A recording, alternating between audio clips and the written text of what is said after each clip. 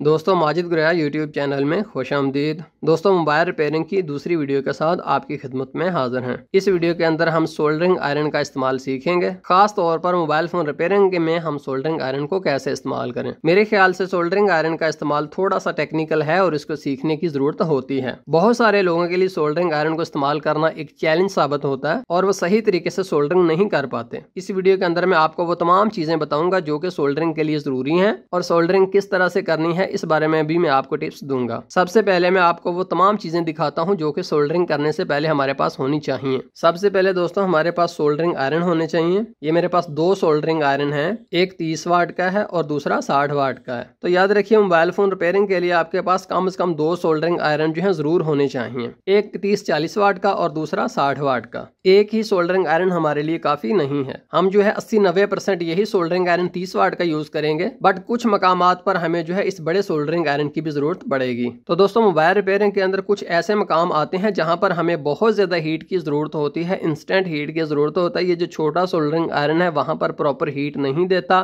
क्योंकि इसकी हीट जो है जल्दी ख़त्म हो जाती है तो वहाँ पर हम टांका नहीं लगा पाते, इसलिए हमारे पास साठ वाट का सोल्डरिंग आयरन होना चाहिए। जो कि काफ़ी गर्म हो ताकि इंस्टेंट हीट से वहाँ पर फ़ौरन ही सोल्डर जो है वो पिघल सके। तो इसलिए मैं आपको यही नसीहत करूँगा कि दो सोल्डरिंग आयरन ही यूज़ कीजिए, एक आपकी सही रिक्वायरमेंट पूरी नहीं कर पाएगा।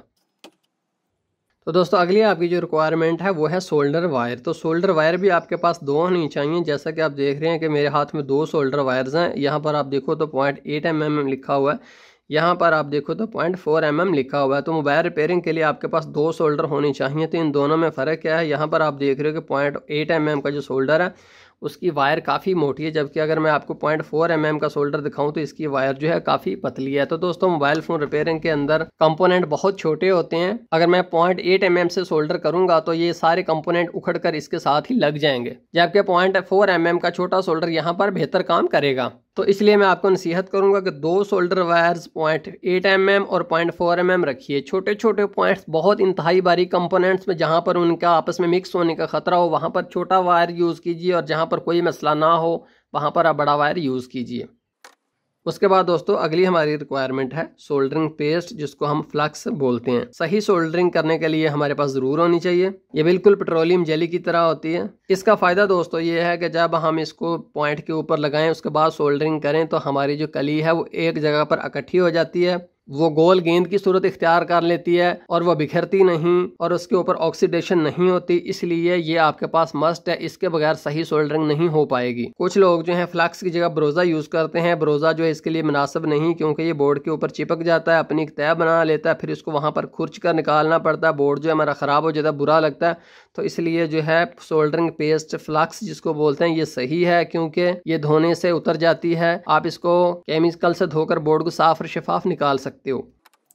उसके बाद दोस्तों, आप मेरे हाथ में देख रहे हैं, ये सोल्डरिंग पेस्ट है। मैं आपको खोल के दिखा देता हूँ। ये बिल्कुल वैक्स यानी कि मोम की तरह होती है। इसका मोबाइल रिपेयरिंग के अंदर तो कोई करदार नहीं, सिर्फ़ ये सोल्डरिंग आयरन की बिट को साफ़ करने के लिए इस्तेमाल की जाती है। जब बिट आगे से काली हो जाए तो इसके अंदर डाल दी जाती है, जिससे ये बिट जो है साफ़ और शफाफ निकल आती है, जिससे हीट कंडक्टिविटी बेहतर होती है और हम सही तरीके से सोल्डरिंग कर पाते हैं। ये बिल्कुल सस्ती सी मार्केट में दस्तियाब है।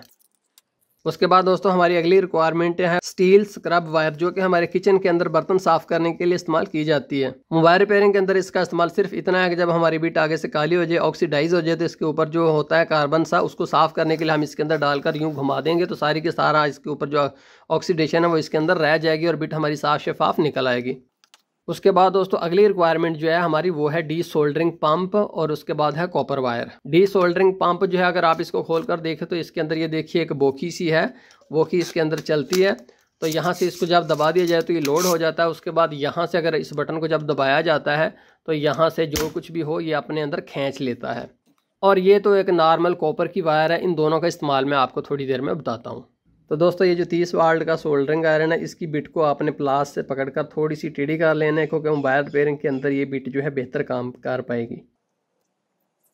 ये देखिए, इतनी टेढ़ी काफ़ी है। तो दोस्तों, अब मैं आपको टांका लगाना सिखाता हूँ। सोल्डरिंग आयरन को वैक्स के अंदर डालिए। इसके ऊपर मैं रखता हूँ, जब ये कुछ जल जाए, उसके बाद मैं यहाँ से इसको ऊपर से निकाल लेता हूँ। तो दोस्तों, कहीं पर भी आपने टांका लगाना हो, पहले वायर के ऊपर सोल्डर लगाना ज़रूरी है। सोल्डरिंग आयरन को फिर मैं दोबारा पहले वैक्स में डालता हूँ इस्तेमाल से पहले, और इस तार के ऊपर मैं सोल्डर यहाँ पर लगा देता हूँ। अब यहाँ पर एक्स्ट्रा वायर को काट दिया जाएगा।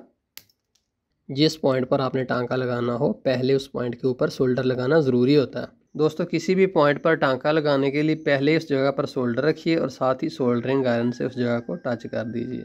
यानी कि सोल्डर और सोल्डरिंग आयरन को एक साथ जो है पॉइंट के ऊपर रखना होता है। आप इस पॉइंट के ऊपर दोनों वायर्स आप रख के जस्ट सोल्डरिंग आयरन से छुएँगे तो ये दोनों आपस में चिपक जाएँगे। ये देखिए। तो देखिए, मेरे पास एक डिफरेंट तरह की वायर है। इसके ऊपर से भी मैं इंसुलेटर उतारता हूँ।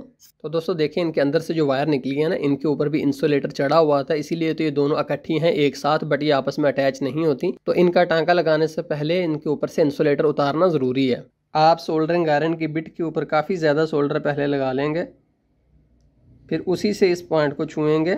तो कुछ देर धुआँ निकलने के बाद इसके ऊपर जो इंसुलेटर जल जाएगा और तार जो है कली पकड़ लेगी। तो ये देखिए। अब इसको भी एंड से काटा जाएगा। यहाँ पर टांका लगाने से पहले इस पॉइंट के ऊपर भी सोल्डर लगाना ज़रूरी है। अब मैं तार को इस पॉइंट के ऊपर रख के जस्ट सोल्डरिंग आयरन से छूँगा तो मेरा टांका लग जाएगा। देखिए, बहुत ही मज़बूत। तो दोस्तों, एक बात और याद रखिए कि टांका जो है हमेशा कॉपर के ऊपर लगता है, जैसा कि आप यहाँ पर देख रहे हो। कॉपर है, इसके ऊपर टांका जो है लग रहा है।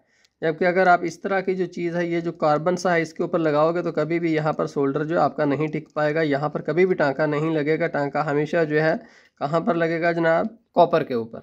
दोस्तों, सोल्डरिंग के हवाले से तो आपने देखा, अब हम डी सोल्डरिंग के हवाले से बात करते हैं। मतलब कि कली को बोर्ड से कैसे हटाया जाए? तो देखिए, जब भी हमने बोर्ड से किसी भी चीज़ की रिप्लेसमेंट करनी हो फॉर एग्जांपल हमने चार्जिंग जैक नया लगाना हो, हमने बैटरी कनेक्टर नए लगाने हो, यहाँ पर हमने कोई भी कंपोनेंट नया लगाना हो तो उसके लिए बोर्ड पर पहले मौजूद सारे के सारे सोल्डर को उठाना पड़ेगा, बोर्ड को साफ़ शफाफ निकालना पड़ेगा अदरवाइज़ हम नया कंपोनेंट कभी भी नहीं लगा सकते। बेलक्सू जब हमने चार्जिंग पोर्ट तब्दील करनी हो तो पहले सारा सोल्डर उठाना ज़रूरी होता है। अदरवाइज़ नई चार्जिंग बेस की यहाँ पर फिटिंग ही नहीं आएगी। तो नए लोगों के लिए सोल्डर को कैसे उठाया जाता है, ये सीखना बहुत ही ज़रूरी है। उसके दो तरीकाकार है, दोनों ही मैं आपको बता देता हूँ। एक मोबाइल फ़ोन के लिए ज़्यादा कारगर है, और दूसरा जो है, वो बड़े बड़े टांकों के लिए ज़्यादा कारगर है। मोबाइल फ़ोन के लिए आप तरीका नंबर एक जो मैं अभी बताऊँगा, इसको ही इस्तेमाल करोगे। आपने प्योर कॉपर की वायर लेनी है फिर इसके ऊपर से इंसुलेटर को उतार लेना है। इसके अंदर मौजूद तमाम वायर्स को आपने फ्लक्स के अंदर अच्छे तरीके से रगड़ लेना इन तमाम वायर्स के ऊपर फ्लक्स अच्छे तरीके से लग जाए। तो देखिए, ये जो चार्जिंग पोर्ट है, यहाँ पर बहुत ज़्यादा सोल्डर मौजूद है। ये सारे का सारा सोल्डर हमने उठाना है। यहाँ पर कॉपर वायर को रखिए और इसके ऊपर आप सोल्डरिंग आयरन को फेर दीजिए। देखिए, सारे का सारा सोल्डर ये ऐसा ऐसा यहाँ से उठा लेगा।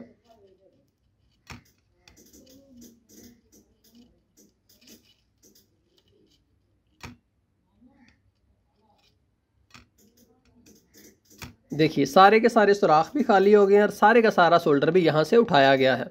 इंतहाई खूबसूरती से सारे का सारा शोल्डर यहाँ से उठाया गया है। अब मैं दोस्तों डी सोल्डरिंग पंप का इस्तेमाल आपको बताता हूँ। यहाँ पर आप देख रहे हो कि एक ट्रांजिस्टर है। इसके तीन पॉइंट है और तीनों के ऊपर सोल्डर लगा हुआ है। हमने ये सारे का सारा सोल्डर रिमूव करना है ताकि हम ट्रांजिस्टर को नीचे से निकाल सकें। तो यहाँ पर वायर यूज़ करने की बजाय डी सोल्डरिंग पंप जो है ज़्यादा ईजी रहेगा। पहले इन पॉइंट्स के ऊपर थोड़ा सा और सोल्डर लगा दीजिए। आप डी सोल्डरिंग पंप को लोड कीजिए। सोल्डरिंग आयरन, पहले सोल्डरिंग आयरन को रखिए और जब कली पिघल जाए तो आप कली को उठा लीजिए। देखिए, सारा सोल्डर उठाया गया। पहले सोल्डरिंग आयरन को रखिए, जब गर्म हो जाए तो सोल्डर सकर से करचे उठा लीजिए।